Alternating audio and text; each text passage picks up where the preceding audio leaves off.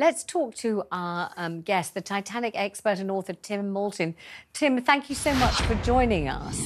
Um, and I really appreciate it. Um, what could the most successful journey down there show? If you were getting good visibility and the weather was conducive and you somehow ended up in the right place, what might you, after all these years, be able to see? Well, I think the key thing that we haven't discovered yet is really what's underneath the mud, because that's where the damage to the iceberg lies. And no one's yet been able to penetrate that in the way uh, that archaeologists do. But really, the, these were tourist trips. And, um, you know, it was a two and a half hour wait. They only had four hours on the bottom, and then it was two and a half hours on the way back. But something's gone terribly wrong, and they've lost contact with the, the mothership, as it were. But I suppose what I'm asking you is how much of the wreckage remains? What sorts of things are still there? In other words, people who pay £250,000 to go down there, I heard this guy describe a sort of rusty anchor. What is the best case scenario of what they might be able to see when they get there if they see the best stuff? Sure. I mean, what there is, what is there is very different to what they'll see. So, what is there is a fantastically well preserved section of the bow that's about 300 feet long. Uh, the stern is in a very bad condition, but further away. But um, as as your commentator says, in fact, they're only going to see just a fleeting glimpse. Mm. Um, in fact, the best way to to learn about Titanic is rather as your images are showing now, um, actually from all these stitched together photographs from previous expeditions. If you're actually down there, it's the thrill of being there just to catch a glimpse of her. You're not going to get a sense of the ship at all from being there in a manned submersible. So you you are obviously a Titanic expert. Have you have you made the trip down there? Would you like to do so? If you, I don't know whether you've got a, a spare two hundred fifty thousand pounds in your back pocket or not, or down the back of the sofa. But if you did, would you spend it on that? Actually, I wouldn't, um, because we do have these fantastic images already of the Titanic. Um, and really, to risk one's life to go down there, to actually not be able to see more than about your hand in front of your face, and just to see a tiny portion of the vessel, um, I, I, wouldn't take that risk because um, I have a young family. And, and when you say what we really need to know is what's beneath the mud, what might be there? What could be unearthed if, if the technology ever existed to be able to do so? What is there? Well, really, it's um, it's the only bit that we haven't yet seen. No one's seen inside the wreck yet, and no one's seen under the mud. So, what under the mud will show us is precisely how the Titanic uh, collided with the iceberg, and precisely what damage was done that made her sink. Obviously, we can learn a lot from within the wreck as well. But of Tim, course, sorry to interrupt you, but how will it show that?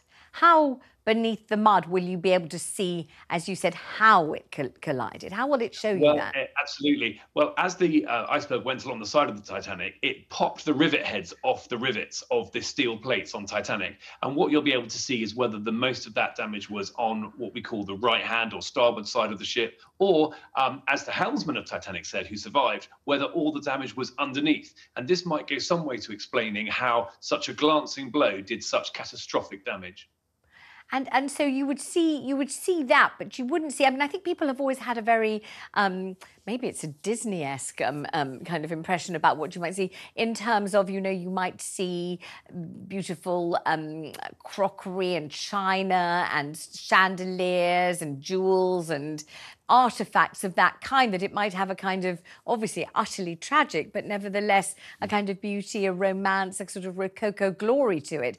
Did that happen and have pillagers already taken all those things away or did that never happen well, you're absolutely right, Vanessa, that that did happen. And those artifacts and jewelry and things are actually lying on the seabed. Oh. Um, and they can be seen in some of these very sharp images that we've been getting. Uh, but the chance of you stumbling across one of those uh, in a submersible for the brief period you're down there are, are, very slim. But of course, one day these things could be raised or could be um, exhibited.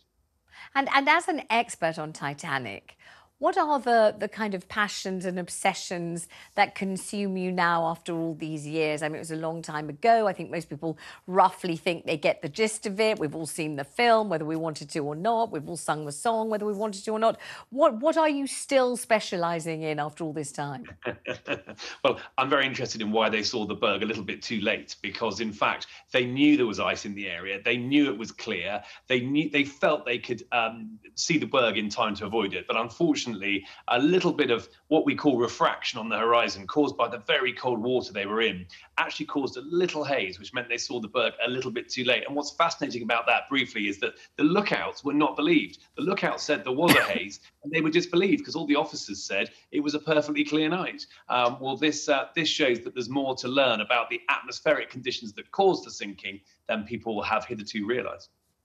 Yeah, I think that's all part of the allure of going to this. You know, this the the billionaire businessman who was there has also been up to space on Jeff Bezos's mm-hmm. exploration on on on his rocket that he sent up there. This is somebody who has traversed both the North and the South Pole. So this is an extreme pursuit. I think that's one of the reasons that people go for it. Yes, you mightn't get to see the full picture of the Titanic, but by gosh, it is an experience. So, so, so let's go back to Tim and Tim. So people, you know, paying a great deal of money for for the experience, and it seems that they've had to sign document after document after document confirming that they realise that their lives are very much in danger, that they they could, heaven forbid, pay with their lives for the privilege of seeing this. I think that's right, but I don't believe that the, the gentleman whose 19 year old son is down there actually believed that that. Uh, small print might actually come to a reality. The, the, the, the, tragedy is that you think it'll be safe and it'll and that this is just a, a box ticking exercise. Um, but unfortunately, it may prove on this occasion that it was not a box ticking exercise and that they were really entering into something that was perhaps a lot more dangerous than they could ever have truly realized. What we can show you now, I think, is a is a picture of the control responsible for for, for guiding this um, submersible, and it's effectively an, an Xbox control, Tim. That's right. Um, I mean, when Ballard found the wreck, he was using a U.S. Navy sub, sub submersible and then submarine um, to do so. So they've got a lot, a lot more investment. Um, this is a commercial submarine, um, which obviously has been put together in the best way that OceanGate could have done it, but it's not of the technology and rigor that you would get from a state-sponsored expedition. Yeah, I'd say that's that's generally true. We mm-hmm. we talked earlier on about how the army does use these type of controls for using its drones in the military. We've seen that in Afghanistan. We've seen that in various different operating theatres. But it's not the type of thing that you would necessarily expect to see in you know a Royal Navy submarine that goes down. One of the other key interesting things with this is there had been calls previously to stop all of this exploration around the Titanic. There's been so many expeditions down there, fears that parts of its hull were being pillaged, mm. that it was being a huge driver for tourism. There's no suggestion that the company that was involved in this operation had anything to do along the lines of that. But surely I think now there will be that question. Yes, there's been thousands of these explorations, but sometimes it does take that one accident to go. We need to we need to relook at how people are engaging with the Titanic. And remember, in just less than 40 minutes' time, we are expecting that press conference from the US Coast Guard. We're going to be carrying that here on Talk TV, where we'll hopefully get some more information. Mm-hmm. Some of the latest things that the Coast Guard has been telling us. They've searched an area that is 10,000 square miles big. That wow. is almost the size of Belgium. It's about 1.25 yeah. times the size of Wales. And they've got aircraft in the air who are just looking at the surface of the water. They've got ones that are carrying out sonar searches as well as subsurface searches. So they're really trying all that they can to do this. But unfavorable weather conditions, the distance that they are away from everything, the time, the oxygen, all of that, it, it's a race against time. Tim, my final question for you. Uh, do you think a, a, a, Titanic industry has sprung up? And do you think it's something that, that needs to be further monitored and maybe much further controlled so that we don't end up with this level of tragedy potentially? I think you're right. I think we're all praying that these people will miraculously escape this uh, terrible jeopardy that they're currently in. Um, but should that not be the case, we absolutely must make sure that this never happens again. Thank you very much indeed for joining me. Tim, Ollie, I know I'm going to see you again uh, as the programme unfolds. Thank you very much indeed, Tim. Thank you.